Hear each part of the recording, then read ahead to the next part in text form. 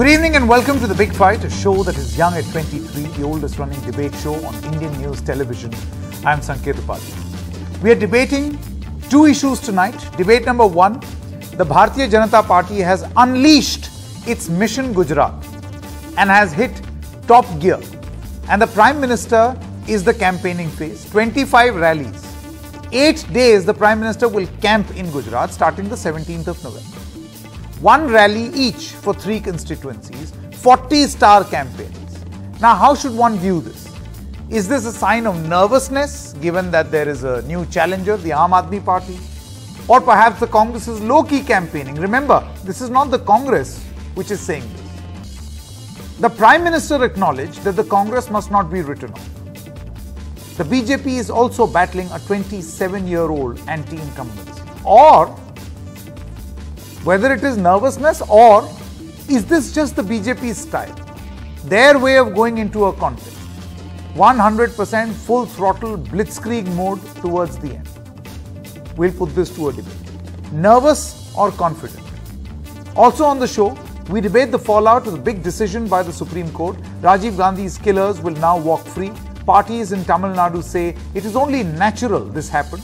The Gandhis seem to have forgiven the killers, but what explains their own party, the Congress, taking a divergent view on this? In fact, one of those rare moments where the BJP and the Congress are on one side and the Congress speaking against the Gandhis. So we are going to put that to debate in about 30 minutes from now. But let's begin with our discussion number one. I would like to introduce uh, the BJ, uh, the Aam Aadmi Party's uh, Gujarat co-in-charge, Raghav Chadha first. Thank you very much, Raghav, for joining us. What do you make of the Prime Minister? You know, this, this big uh, blitzkrieg mode that the BJP is now entering into. 25 rallies, 8 days camping in Gujarat, uh, one rally for three constituencies.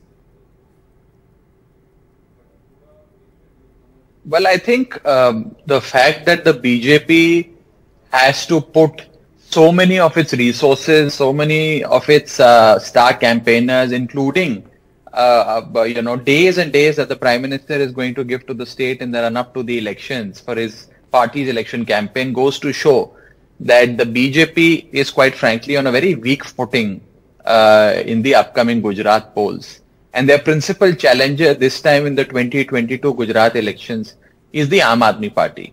For the last few months, Aam Aadmi Party and its leaders have been tirelessly working on the ground, building a robust organization, putting up a campaign and reaching every household of Gujarat with Kejriwal ki guarantees, which are uh, concrete promises which will lead to economic upliftment of an average Gujarati household. And I think it's it's primarily because of the kind of response uh, that Aam Aadmi Party is getting, the kind of momentum and traction that we have behind us, and and quite frankly, the overwhelming sense of parivartan, that is change in the state.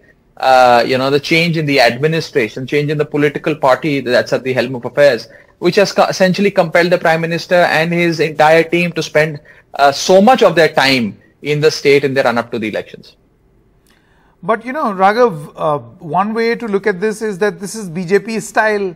We have seen this happen in the past, whether it is a greater Hyderabad the uh, municipal election or a Delhi municipal election or a, you know any any other election, uh, the BJP goes full throttle. So would you view this as just a sign of their confidence and strategy or nervousness? Well, I would certainly look at this as their nervousness because otherwise BJP is a pretty scientifically uh, uh, driven election machine. They concentrate in areas and they concentrate in states depending on what the surveys in the run-up to the elections are showing. So clearly, if the BJP is required to put so much of its might uh, in the fag end of the Gujarat election, it goes to show that uh, their surveys are predicting what our surveys are predicting, which is that Aam Aadmi Party is inching ahead of uh, the BJP in the state of Gujarat, which has essentially now become a two-cornered contest. Uh, BJP versus AAP with Congress, Congress, completely uh, out of the contest, out of the race. Oh, you've completely written off Congress. But, you know, since we are talking about the BJP, uh, would you not acknowledge that here is a party which has uh, removed 38 of its sitting MLAs. This includes former chief minister, deputy chief minister, in a bloodless coup. Not a, not a little squeak also of complaint. Does this not mean organizational strength?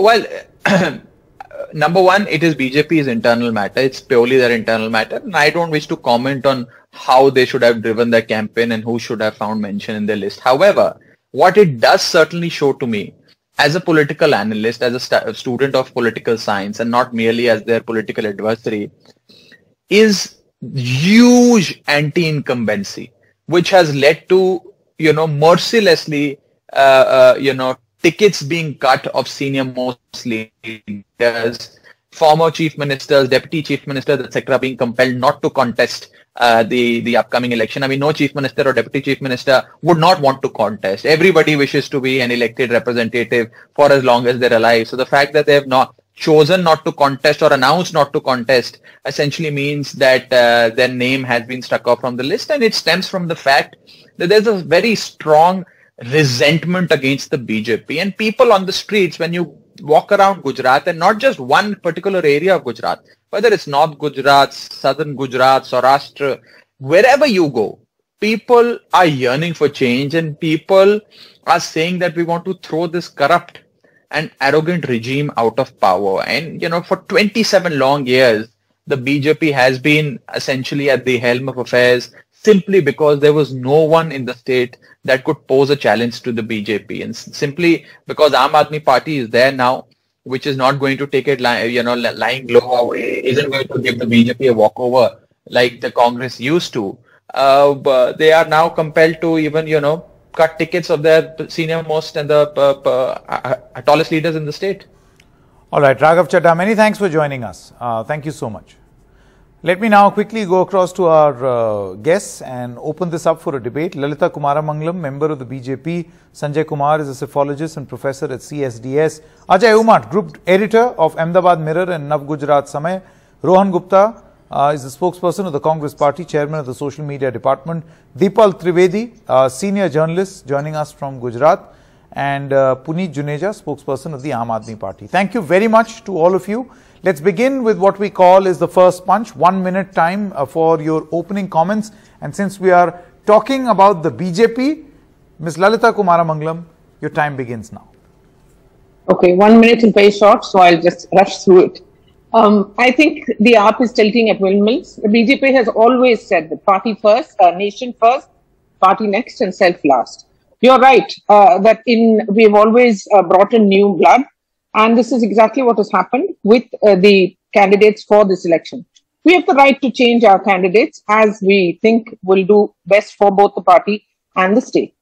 Mr. Uh, Modi, people seem to forget, is actually from Gujarat. He was CM for there for many years. He has an emotional connect with the people there. He has an emotional connect across the country, but especially Gujarat. He's the son of that soil. Uh, and we always have a blitzkrieg before elections, as you rightly pointed out, Sanket, everywhere. Now, um, uh, uh, it's uh, like the pot calling the kettle black when AAP says corrupt and arrogant. Look what's happening in Delhi with them. For them, it is a question of almost desperation. If they lose Gujarat this time, they're going to lose pretty badly. Uh, it's going to be very, very difficult for them to face the public. Now, uh, I, I, think he's also forgotten the Gujarat, uh, Gujarat's history. There was a very, very strong Congress party organization at one time before the BJP came in. Now, uh, whether it's okay. going to be a walkover for the AAP or not, we'll see in results day. Sure. Now, uh, I don't think one should expect that our senior leaders will not yeah, go Lalita to Gujarat you know, I, am going to come back Both to you. Modi ji and Amit ji are from there, and yeah, we always well, put our best foot forward. Okay, I'm going to come back to you, and you can elaborate further. But uh, uh, Rohan Gupta, I mean, you know, uh, your opening comments, and then I'll I'll ask you a question. A lot has been said about the Congress Party. That where is the campaigning? See, uh, Sanket, I was really surprised with BJP's tall claims of more than 150 seats till now. And today when I heard Mr. Raghav Chadha, I think when we call BJP A team and Aam Aadmi B team in terms of marketing, I think we are not wrong. Sanket, uh, Gujarat has seen 27 years of misrule of uh, uh BJP. And the Morbi incident was the final nail in coffin as far as the people of Gujarat are concerned. Because kind of confidence what they had on Mr. is shattered. Even after 10 days, no action has been taken on the real culprits. And the way BJP had changed around 39 of their MLAs, it clearly shows that what is the strong anti-incumbency on the ground. They had to replace the ex-CM, they had to uh, replace ex-deputy CM, the whole, at least 10 ministers were not given ticket. Why this so? Because before four years, they replaced the whole government. Because of the COVID uh, mismanagement, people are not happy. And now, when at the back end of the election, they know that on ground their situation is really bad. And Congress is really toe to toe with their Vachan, Aath Vachan, and they are getting tremendous response from people. Aam Aadmi is absolutely Okay. nowhere and people like Uttarakhand and Goa, they will be a vote Okay, Katua we party. seem to be losing your audio, uh, Mr. Gupta. I'm going to come back to you. Puneet Juneja, Yes. your opening comments, please. Uh, Sanket, uh, Gujarat has seen 27 years of anti-incumbency. This anti-incumbency is not only with regards to the ruling party. Uh, BJP as a ruling party has failed the state. Uh, even the Congress as an opposition could not uh, give as an opposition what it should have given to the people of Gujarat. They never tried to replace BJP. Even in 2017, when they were in such a strong position, when they had 77 uh, MLAs uh, elected and very, they were by very few margin they had uh, lost on certain seats. Today they are left with only 61 or 60 of those MLAs. Rest of them have already migrated to BJP. Now I'm using this term migration because uh, uh, defection is uh, no longer a bad word for BJP and Congress. Now when they say A team or B team, they have to first introspect that who has been selling their MLAs or whose MLAs are being sold out, be it Goa, be it uh, other states, and be it Gujarat. Now, uh, for what Aam Aadmi Party has come to the state with, it is Okay. not that Aam Aadmi Party has not proven its uh, track record. Aam Aadmi Party has, Sure. in fact, uh, shown a very okay, good result. okay. in One, one, one minute body time is up, Mr. Juneja. I'm going to come back to you. Yeah, sure. Uh, Deepal Trivedi, opening comment. Yes. Uh, first of all, I would want to say that the Aam Aadmi Party has been giving a very spirited fight in Gujarat, and uh, it is Aam Party's entry that has made these assembly elections very interesting and exciting.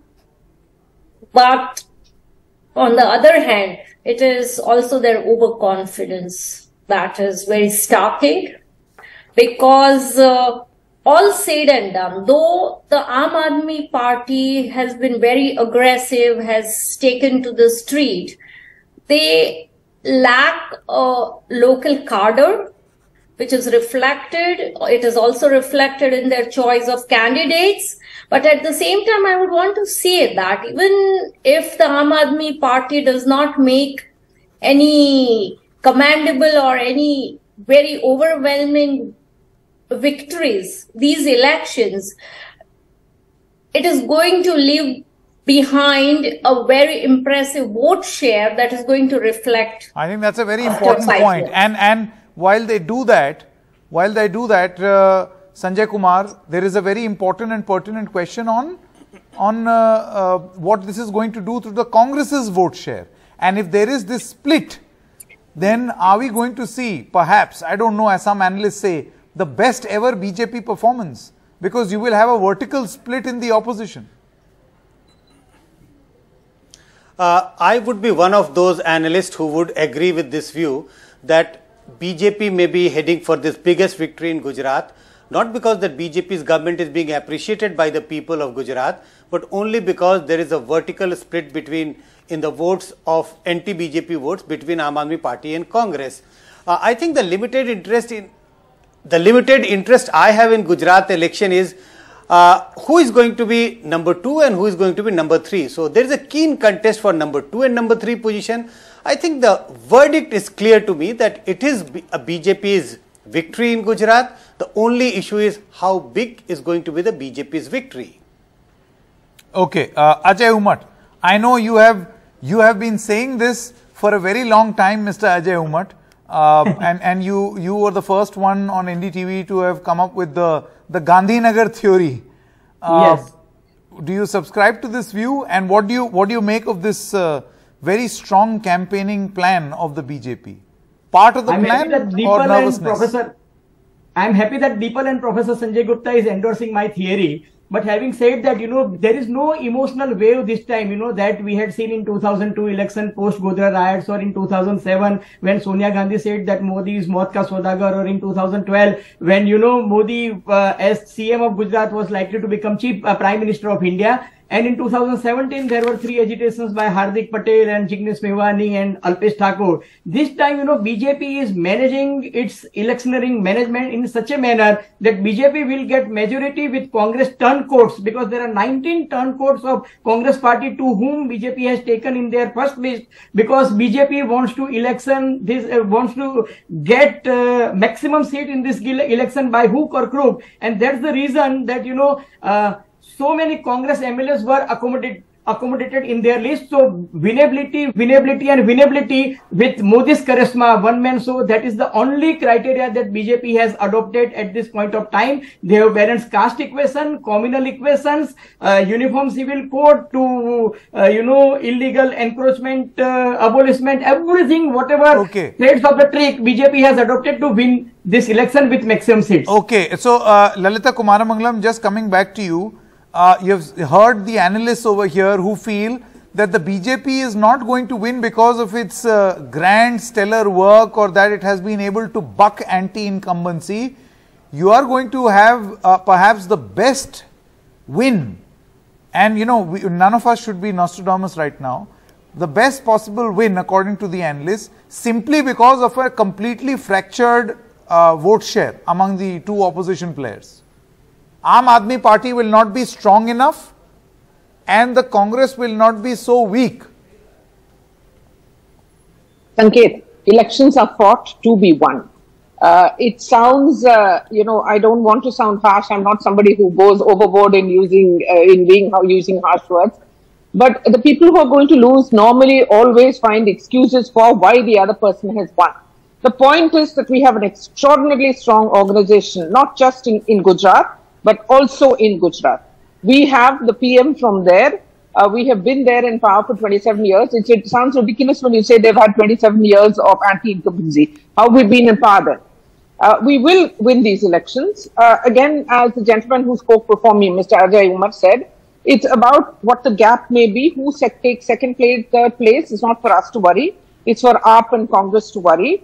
Um, and uh, we've always done a blitzkrieg. We know we are going to win. Yes, there have been uh, many uh, new people who've been brought in, but again, that's also quite like the BJP.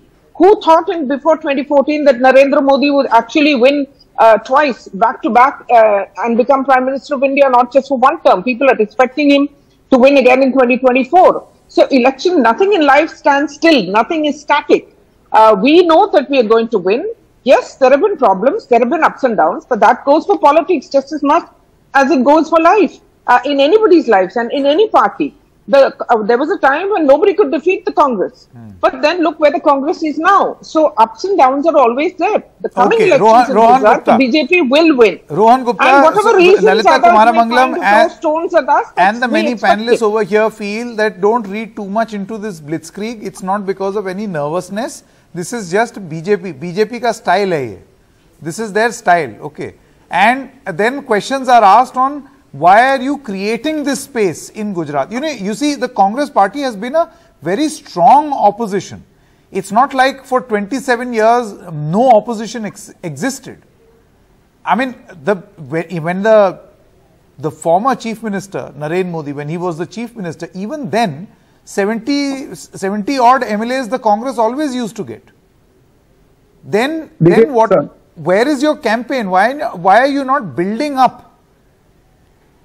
And do you think this argument uh, of low key campaign is going to work, Mr. Gupta? Low key. No, what is low key?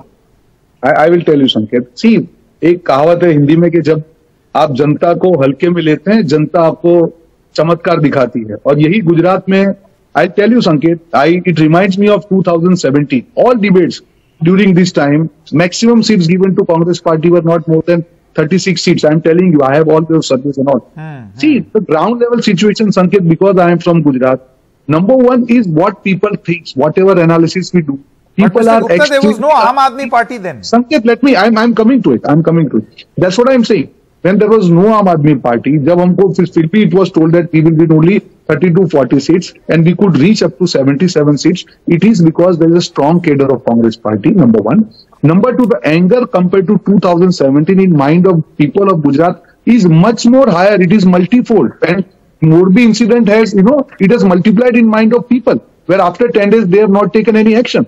When it comes to oppose, like I was listening to Aam Aadmi Party also. Surprisingly, whatever your analysts are saying, mark my words today's debate, that Aam Aadmi Party will damage BJP more when the results will come. Oh, why I'm saying.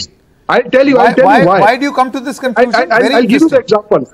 I'll give you. Surat, like Surat is one place where Aam Aadmi Party has given the candidates like Gopal Italia or past uh, convener Alpesh Kathiria and all, who are considered to be strong candidates. Surat, uh, Congress has never won any seats. Even their so-called CM candidate, even now he is not able to find the perfect constituency or a safe constituency where he can win the elections. Sanket, Gujarat is a state where assemblies are of the size of 2.5 lakh to 3 lakh voters Unless and until you have strong candidates who can go and take mites of existing MLAs, whether it is Congress or BJP, yes, you can be a vote cut to a party, but the kind of, you know, claims which are made by Aam Aadmi Party, they are not going to be successful. Number Okay, one. very, Number- very interesting. Rohan Gupta has Last- made a very, very interesting point. Ajay Umat as well as Deepal Trivedi, one by one. Yeah. Sir, 30 seconds, Ankit. Last point about Congress campaign. Congress के आठ वचन. What this time we have done, Sanket, we have talked, we have spoken to lot of lots of people, and we have identified eight key points. Whether it is old pension scheme giving a gas bottle in 500 rupees, specific points touching specific Gujarati people. Okay, okay, fine. Ajay, Ajay Umat and Sanjay Kumar, do you feel that the Congress's assessment is correct? The Congress's assessment is correct that the Aam Aadmi Party will actually damage the BJP more than the Congress Party, or is it the other way around? No, Sanket. What if there is a fresh allegation from the BJP that AAP is Congress's B team? No, what's what Rohan Gupta is saying is right to an extent that in Surat, yes, in Surat, uh, Olpad, Kaprada, uh, no, Olpad, then Katargam, Karanj. Karanj, Varacha, Varacha, and uh, Surat North and Surat East. These are five seats, you know, where Alpesh Kathiria and Suratia and Gopal Italia are contesting. Yes, they will do better, and I think they will give direct fight to Bharatiya Janata Party. But that's the only urban pocket where Aam Aadmi Party is giving a direct So it's fight not to a Bharatiya pan Janata Party. Gujarat experience. This is Yeah. limited to Surat.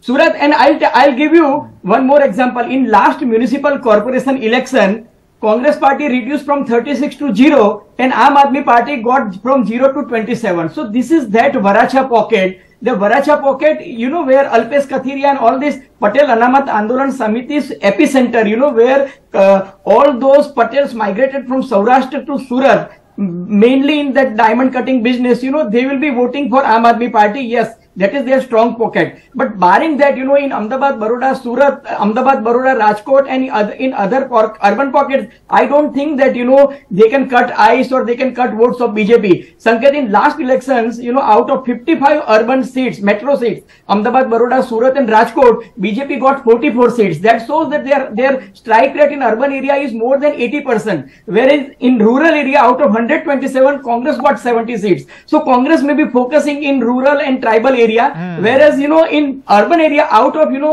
But that has always been the which you are case, Mr. that, you know, Rural and Yeah. uh, tribal has been uh, sort of a strength of the Congress in Gujarat. No. Tribal means when I say tribal, I mean Banaskantha, Sabarkantha, Dahod, Panchmal, Chota Udaipur, Rajpipla, Vyara, Bharuch, Songadh, that, you know, tribal belt where, you know, once upon a time Bhilistan idea was, you know, promoted by Medha Patkar and others. So that is an area adjoining to Rajasthan, Madhya Pradesh and going towards Maharashtra. So that uh, seats I am talking, which is 46 seats. So in those areas, you know, Congress is very, very strong where, you know, Bharatiya Janata Party is trying to break you know for example I give you an example Bhavesh Katara and his father Jhalod seat that comes under Dahod district Chhota Udaipur you know Mohan Rathwa he joined Bharatiya Janata Party and within one day BJP has given ticket to his son though the BJP stated policy is that you know we don't believe in parivarwad, but Bhavesh Katara, son of uh, uh, senior Katara, who was ex-parliament member, was given a seat, and they are Okay. still waiting. They are still they have vacated a seat in Dediapada Sure. to uh, to you know break this father and son. You know. Uh, uh, Ajay Umat's uh, extremely granular uh, analysis of Gujarat. No, no, uh, I- is, giving a very BJP One- one- party- One moment, you know, because we are talking about the Aam Aadmi Party, I'll come to Sanjay Kumar also because we are talking about the Aam Aadmi Party. Mr. Juneja, who will you damage more?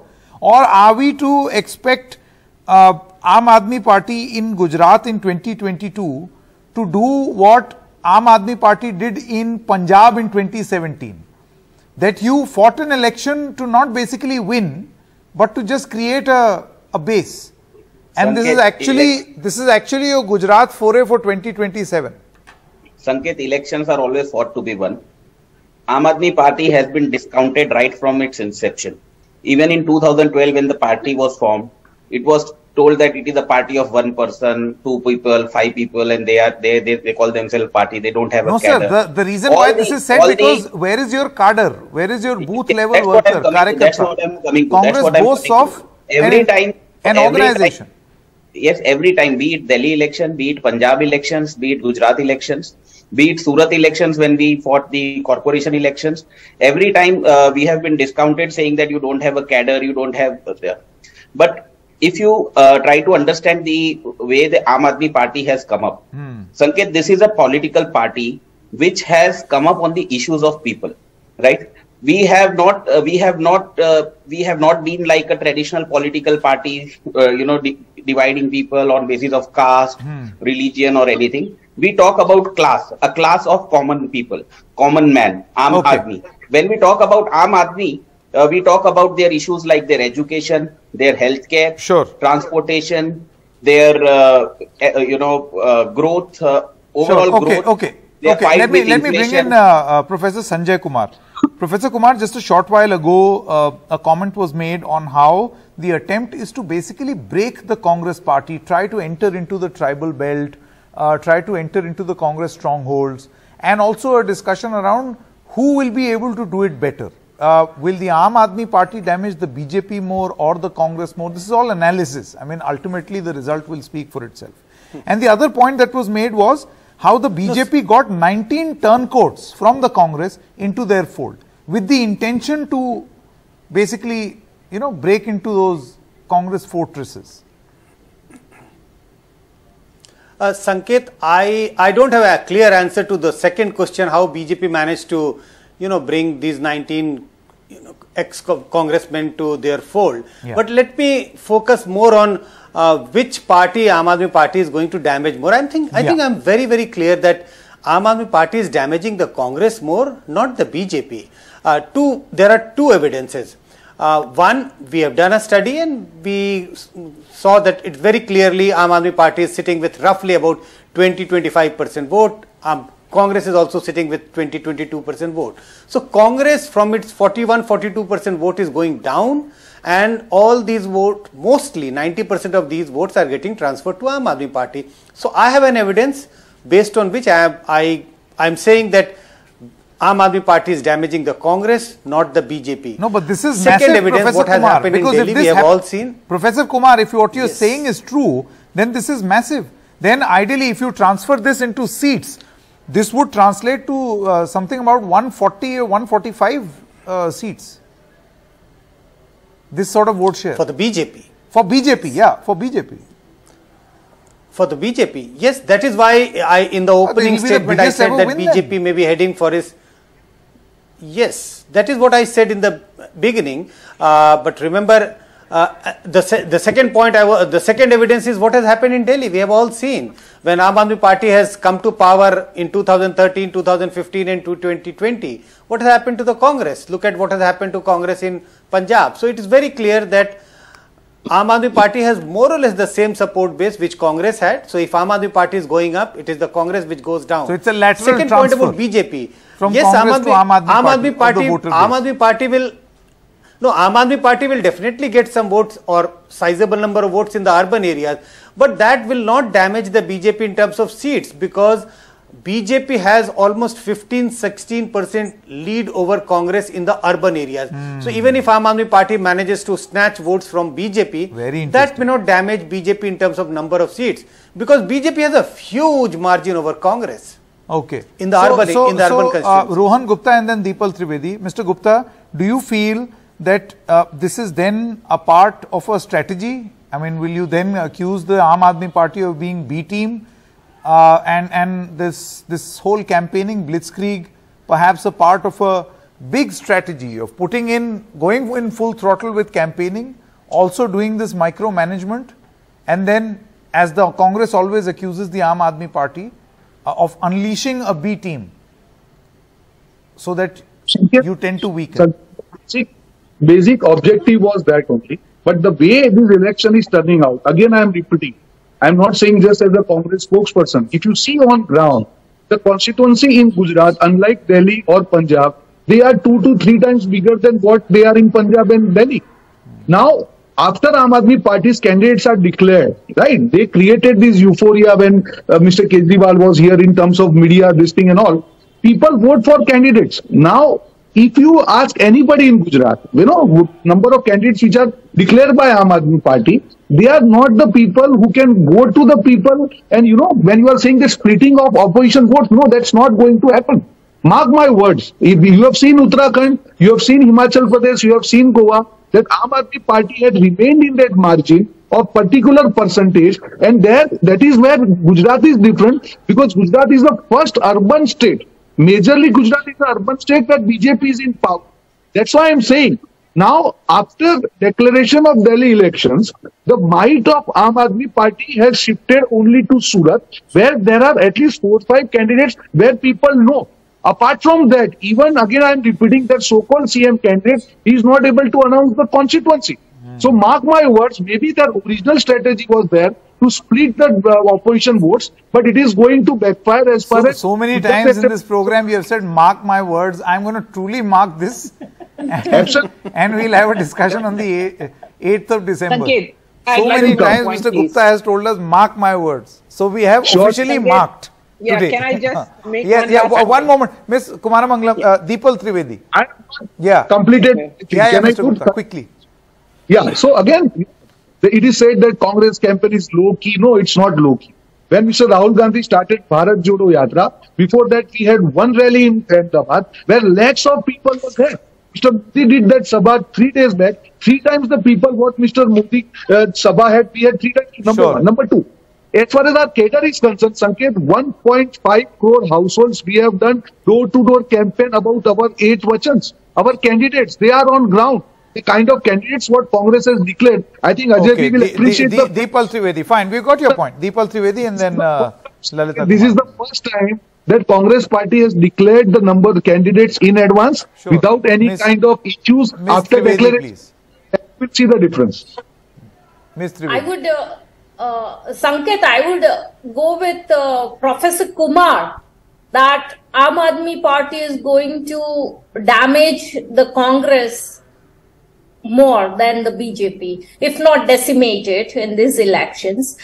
And to BJP's credit, you know, BJP is known for taking every election very seriously in Gujarat, even if it's a small ward or a small Nagarpalika election. BJP is known for its booth management, for its page pramukh, for micromanaging. So an assembly election is no exception. So people uh, outside Gujarat, you know, trying to uh, focus on this point of uh, Prime Minister Modi paying so much attention to Gujarat, but this is expected and this has always been the trend of BJP. There definitely is anti-incumbency in Gujarat.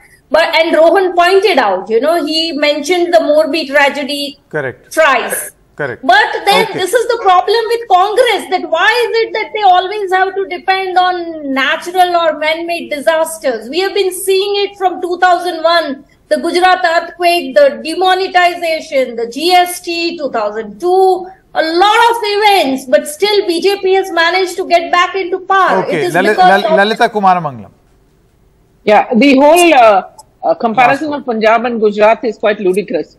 Punjab, there was no BJP almost in the election.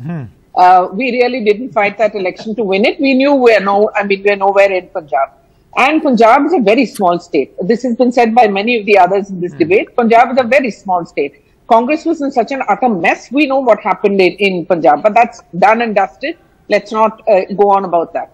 The fact No, is when I made that BJP comment, Ms. Kumaramangalam, I basically meant No, that no, no, you fight an election to create it. a no, no, to create a base, and then once your Yeah. cadre is built, then you fight perhaps after five years That's to true. win. That's true of any party, Sanket. Don't forget that the BJP, uh, we built a base for 70 years before we really made a show, um, was strong enough to take on even the, Okay. uh, the principal party, which was then the Congress. But that's Yeah. not the point.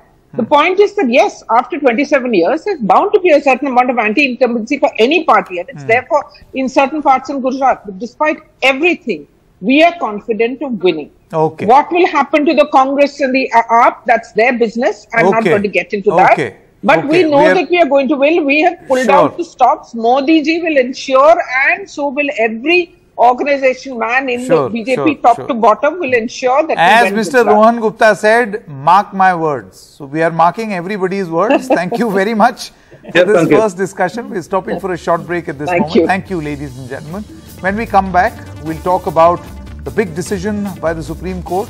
Rajiv Gandhi's killers will now walk free. All parties in Tamil Nadu are uh, saying that this is natural. The Gandhis have for- uh, forgiven the killers, but one really does not know what explains that the Gandhis party, the Congress party, and the BJP are now on one side in opposing this. They feel that you cannot be forgiving terrorists who have been found guilty of murdering a former prime minister. That debate up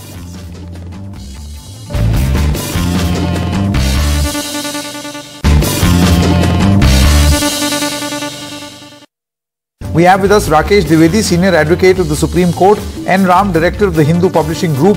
Ramchandra Rao is uh, from the BJP. Uh, Mr. Pugayendi, National Spokesperson of the AIADMK. Uh, Dr. S. Hafizullah, DMK spokesperson. And we also have Manikam B. Tagore, Lok Sabha MP of the Congress Party. Thank you very much, uh, all of you. First of all, the legal view, Mr. Dwivedi, I want to know from you, uh, how, how does this how does this sit? If you could explain for the benefit of our viewers, uh, what were the arguments that the Supreme Court heard post which this decision was taken? The logic, basically. Uh, when the first round of litigation happened before a five judges constitution bench some four five years back, then uh, an issue had arisen uh, on account of uh, the union challenging a notice issued by the government of Tamil Nadu, which required them to take a call about release within a specified time. So the Supreme Court in that case had held that though it, uh, all other offences which were involved, the sentences have been served out, only section 302 IPC remained, with respect to which life imprisonment had been uh, granted to these uh, convicts.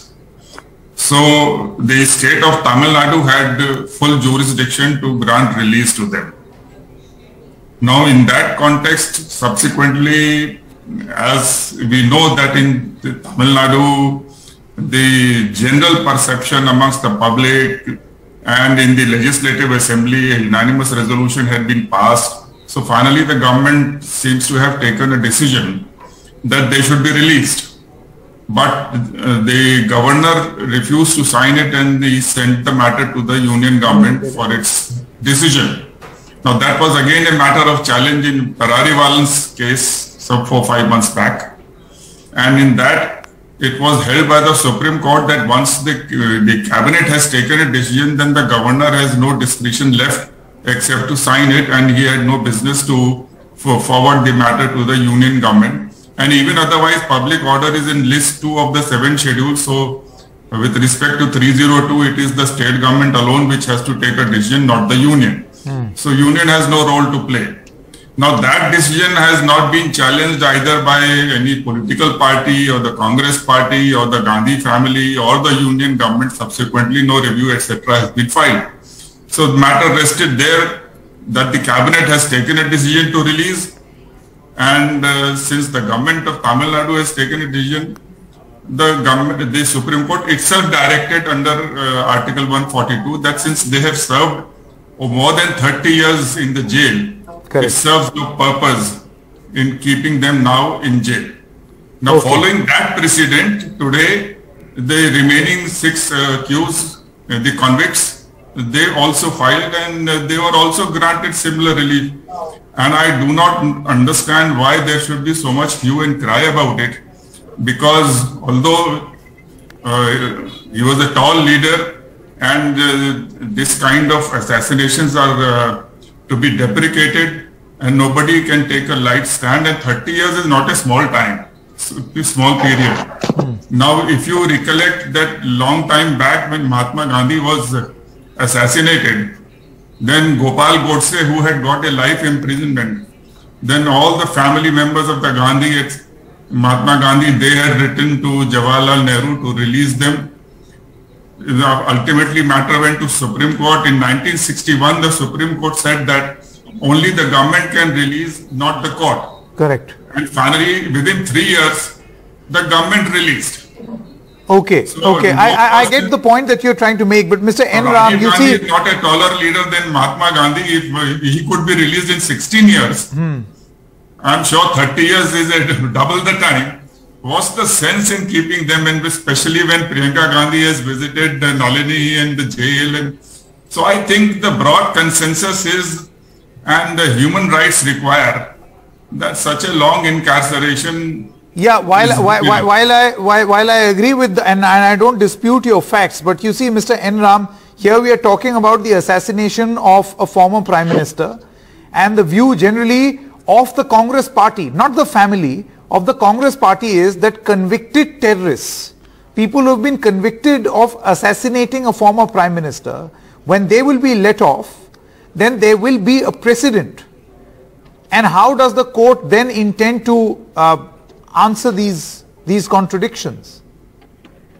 Um, Sanket, I, I used to believe that in cases like this, life means life, but uh, I am persuaded by what the uh, senior counsel has just explained. Uh, I don't think it will set a precedent in the sense that every person who who uh, approaches the court uh, will get relief because it depends on, in a sense, on a case-by-case basis, uh, satisfactory con- co- conduct in this long incarceration, and then whether they've done something to improve their capabilities, whether they've contributed something in the creative space and so on. So I think the court will look at those things as well. But the point here is the two main political parties are united in this uh, uh, in the state are very clear that uh, the time has come for them to be released. And secondly, I think that's very very important. The governor had no business just keeping it in his pocket or in his table for such a long period. That I think is a factor that must be taken into account. And then to send it to the wrong address instead of acting, I think is completely unacceptable. And I think this is a blow, a small blow for uh, what the Constitution, uh, uh, give, give, you know, empowers the states to do. Uh, one of the few few things that have happened in favor of state rights is this: that the governor, who in the in the case of Tamil Nadu, he has been holding several bills, uh, you know, you know, just blocking them. Then what uh, what respect does the uh, state legislature have, or the executive of the state, which is uh, Mr. N. steer- Ram, would you not like to make a distinction between the other bills being held up by the governor uh, allegedly and something as serious as this?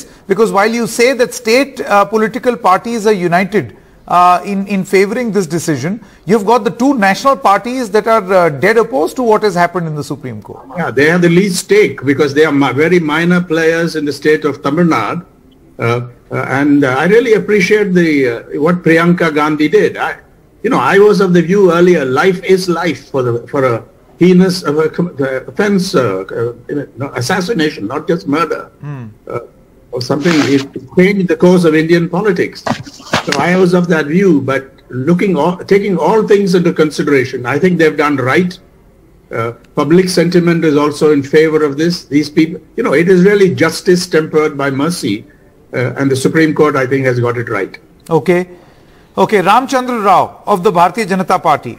How do you view this uh, decision? I mean, this is, as Mr. N. Ram said, as uh, Rakesh Dwivedi said, and I'm sure uh, DMK and ADMK spokespersons are also going to uh, echo the same sentiment. But how do you look at this decision? We've all heard what the Congress's view is.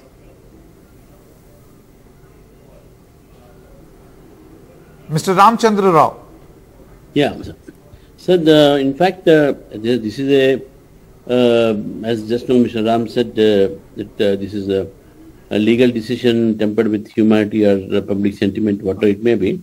But it is one of the rarest cases that the Supreme Court has come, uh, taken such a decision where uh, people who are accused of killing the Prime Minister and indulging in a terrorist activity are being let off.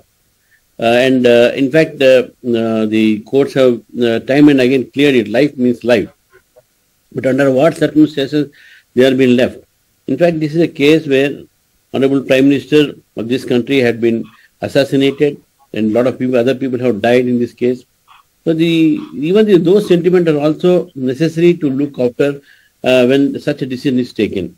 Now, the also fact remains that the family member of uh, Sri Rajiv Gandhi late Siraji Gandhi met uh, the assassins and they were also very sympathetic to them. But however, that should not have uh, you know influenced the court while taking a decision. I think uh, law for everyone should be one, and law for terrorists should be firm in this country. Otherwise, uh, there will not be any deterrent. Uh, and that's what I feel that maybe it is special power used by Supreme Court. We will not go into it. But as far as the uh, leaving of some terrorists by the court in such a serious matter, I think it is a matter of concern to think over. The baby sentiment and other things may have may stand its own place, but I don't think that law should uh, also be so sympathetic to the people uh, who have killed the prime minister and who have and actually who had uh, participated in the terrorist activities.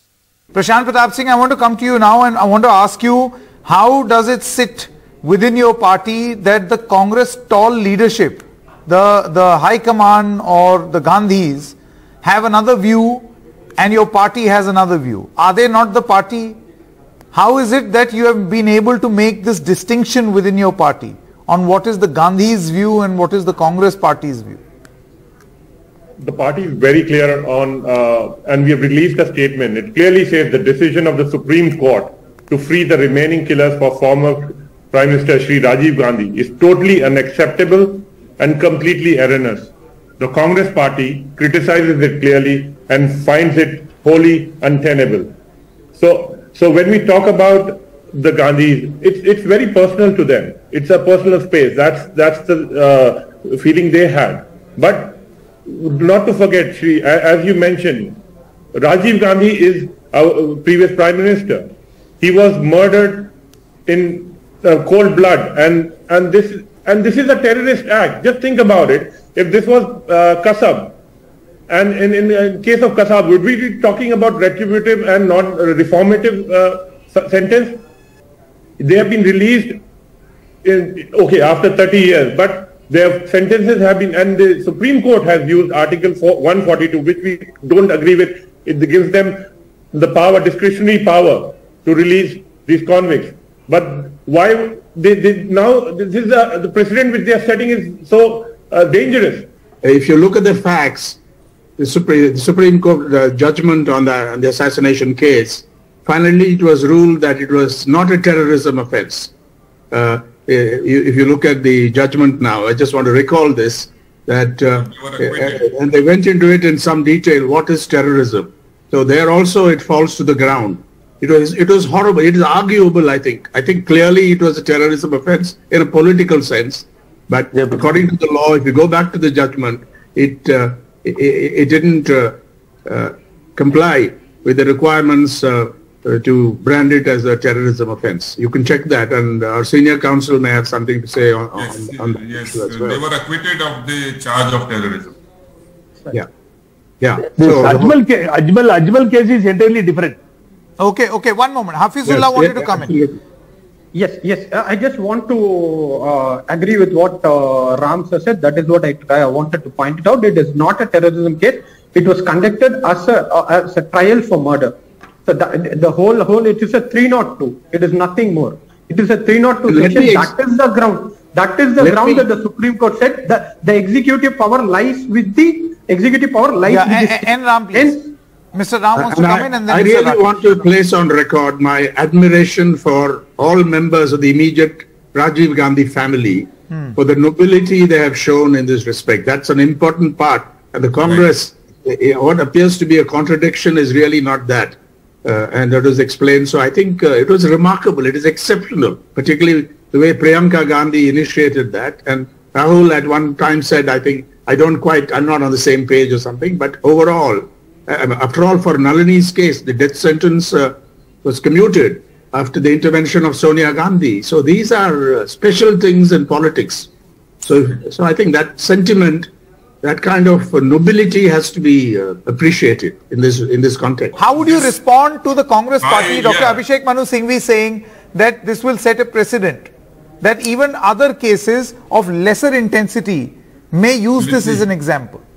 Let, let me first of all condemn the, the speaker for using the expressions shameful, etc. for the Supreme Court's judgment. It is highly contemptuous, so it's a warning to him. The second thing is, Supreme he should have read the judgments of Perarivalan in this judgment very carefully. Supreme Court has exercised power of 142 only because the cabinet of the government of Tamil Nadu has already taken a decision and they are the authority to take a decision for commutation and therefore the Supreme Court said that it is no use sending the matter back because the government has already taken a decision and therefore this. So coming to the third question of president, the Congress must first answer why did they left Gopal Godse after 16 years? Was that not a precedent? Fourth point is every every case, even if they think that this is terrorism, every case of terrorism is not identical. As Mr. Ram said that you have to go case by case. Here is a case where these are six, seven persons who played a very minor role and some of them are not even aware as to what the other person is doing and what for it is being done. And there, had, there was a particular political background also. The LTT was there at that time as a force which was fighting in Sri Lanka and they were agreed by the IPKF being sent to Sri Lanka. Now they, that LTT has disappeared. All that political background has disappeared. So there was certain uh, element of uh, by which these people may have been uh, got involved into this uh, Okay. conspiracy. So therefore, this is a case uh, which is of a peculiar kind and it had a particular background and these people are not the main actors and they have suffered enormously by 30 years. There's hardly an incident, double the time Gopal Godse spent. So let us not talk about president. President was set in 1964, 16 years. But here it is 30 years. Sure. Okay. Prashant Pratap Singh, uh, uh, Mr. Hafizullah, Mr. Pugayendi, Ramchandra Rao, N. Ram, as well as Rakesh Dwivedi. Many thanks for joining us on this discussion. Thank Thank you. you so much.